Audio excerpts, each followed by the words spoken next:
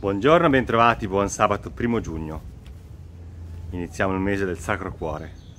Ecco oggi il santo del giorno è San Giustino, martire. Giustino era nato in, Famari, in Samaria nei primi anni del secondo secolo da una famiglia pagana e fu attratto fin dalla giovinezza dagli studi filosofici.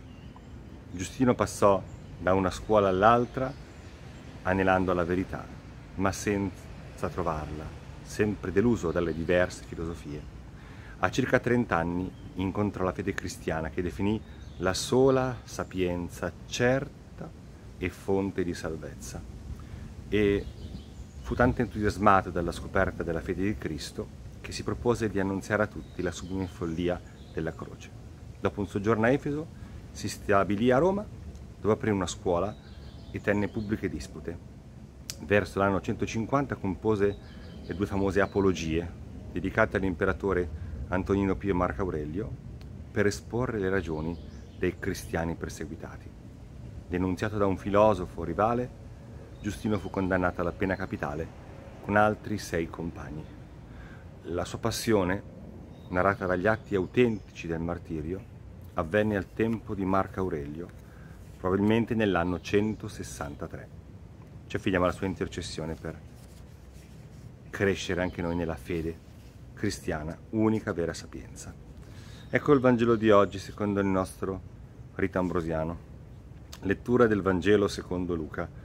In quel tempo furono portati, quando furono compiuti i giorni della loro purificazione rituale, secondo la legge di Mosè, portarono il bambino a Gerusalemme per presentarla al Signore, come è scritto nella legge del Signore.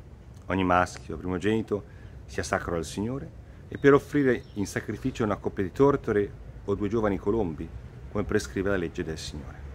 Ora a Gerusalemme c'era un uomo di nome Simeone, uomo giusto e pio, che aspettava la consolazione di Israele e lo Spirito Santo era su di lui. Lo Spirito Santo gli aveva preannunziato che non avrebbe visto la morte senza prima aver veduto il Cristo del Signore.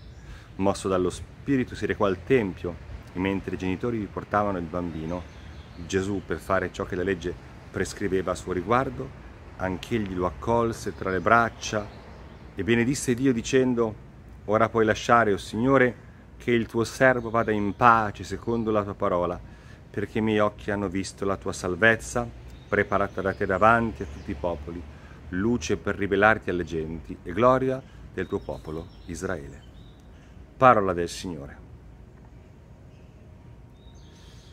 Può sembrare un po' strana la lettura di questo brano che è il Vangelo che si legge il 2 febbraio alla presentazione del Signore, ma nel rito ambrosiano è collegata alla prima lettura di oggi che è tratta da Levitico 12, in cui appunto si racconta, si stabiliscono scusate, queste norme che vengono osservate appunto da Giuseppe e da Maria, come facevano i buoni devoti figli di Israele.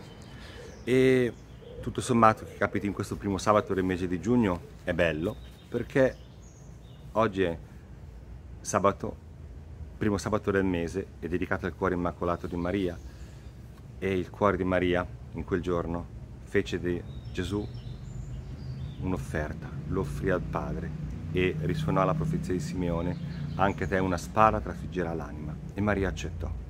Impariamo da Maria a donare noi stessi e anche i nostri figli, lasciandoli liberi perché facciano la volontà di Dio, seguendoli sul cammino della vita con la preghiera, il sostegno e impegnandoci perché possano conoscere Dio e amarlo in verità. Buona giornata che la Vergine Santa vegli su di noi.